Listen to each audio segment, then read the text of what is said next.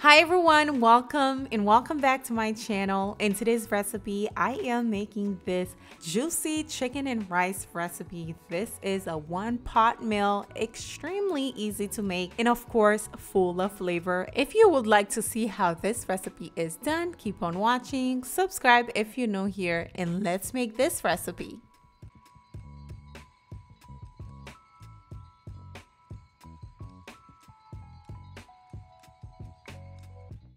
Here's what you need to make today's recipe. You'll need bell peppers, any color, garlic puree, salt and pepper, chicken bouillon, chicken bouillon base, chopped onion, coconut milk, jasmine rice, and water. Also, you can replace the water for chicken broth if you have some. And you will need four chicken thighs and as well as the seasoning for the chicken. I'm using Creole seasoning, onion and garlic powder, paprika, lemon pepper, Italian seasoning, and some cumin. Okay, let's begin.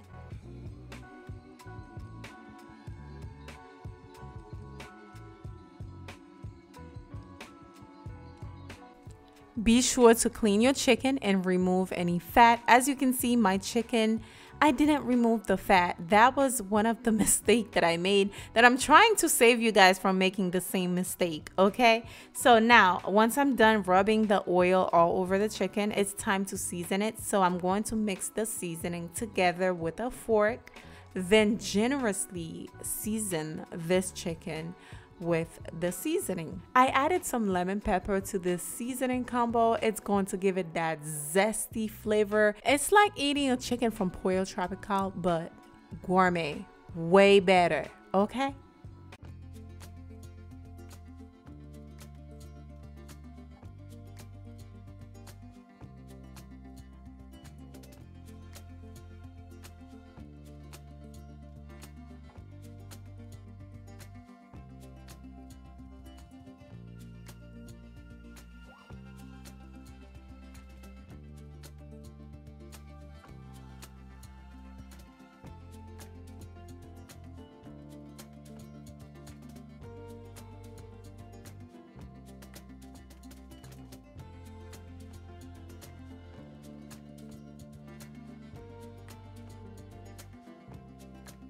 Don't forget to rub the seasoning underneath the chicken skin as well.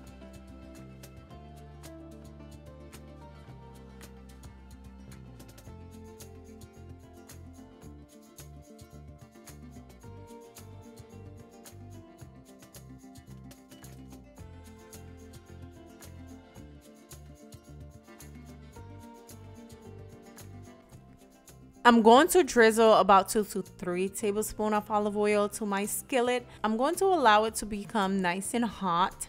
Then I'm going to place the chicken thighs skin down because I want a nice beautiful color on the chicken. So place its skin down for about two to three minutes.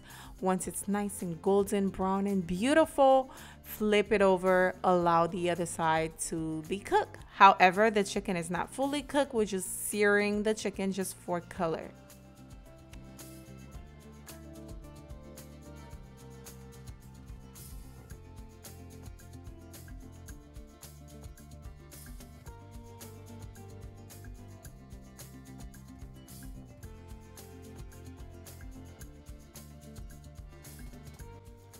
Now that we flip the chicken over, it's looking good, it's looking beautiful, but it's not done cooking yet. What I'm going to do, I'm going to remove the chicken, set it aside. It's not cooked yet. Remember, just set it aside and we're going to cook the veggies. Now, you can make this recipe with peas or any other vegetables. You can even add some corn and spinach in there as well if you feel like it. But I'm going to pour in the bell peppers as well as the onions. I'm going to saute these for about two minutes. Then I am going to add my garlic puree. I didn't want to burn the garlic. That's why I added afterwards.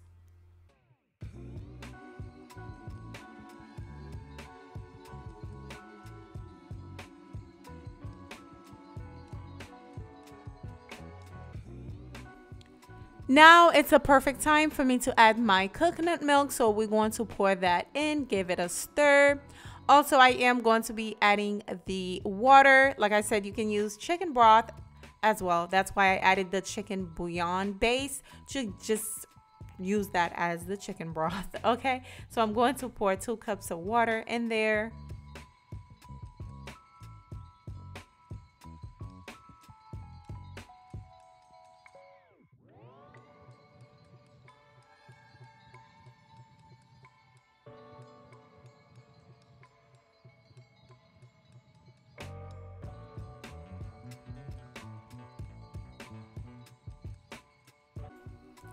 Now I'm going to add the chicken bouillon base. This is optional. If you are using chicken bouillon, I don't think you really need this. If you don't have it, you don't have to go look for it because I added enough chicken bouillon to this recipe. But I'm going to give that a nice stir just like so. Then we're going to cover it, allow it to simmer. Once it starts simmering, it's time to add the rice, okay? Make sure to wash your rice and the rice I'm using is not cooked it's uncooked. I just wash it and place it in the pot. Now make sure to give that a nice stir just like that.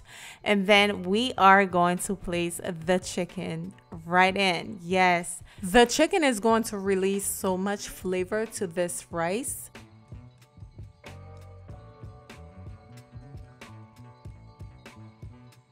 Rice is in my blood, you guys. We we eat rice every day. Okay. We eat rice almost every day. Don't ask me how. Us Haitian, we eat rice almost every day. Every day, not almost. Every single day. Okay? So I'm going to give that a stir. Then I am going to place the chicken right on top. Just make sure it's in between the sauce. Don't just let it sit. Make sure you press it down. You're going to see me pressing it down to make sure the the water gets inside it so it can cook that way. And then I'm going to cover it. Turn my heat on medium low so the chicken can cook. I'm going to let this simmer for about 20 minutes to 25 minutes. Once it's done, you should have something like this. How beautiful. Make sure to check the chicken now. Do not just say, okay, it's cooked, let's eat it. Make sure you have yourself a thermometer and check the chicken so you don't get sick. However, I didn't have to do it because it's just me. If your chicken thighs are bigger than mine, they might need a little bit longer to cook. So make sure the inside is thoroughly cooked. Okay.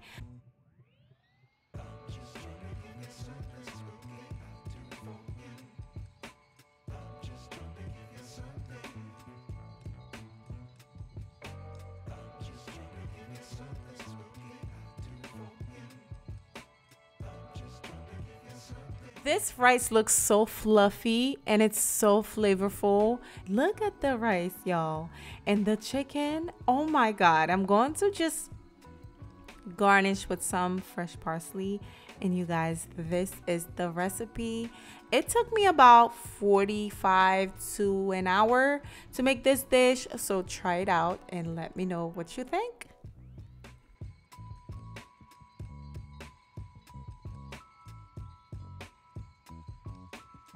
I really hope you enjoyed today's recipe. Do not forget to give it a thumbs up if it was helpful. If you liked it, if you enjoy it, please give it a thumbs up. Don't forget to subscribe if you're new here. I will see you guys on the next recipe.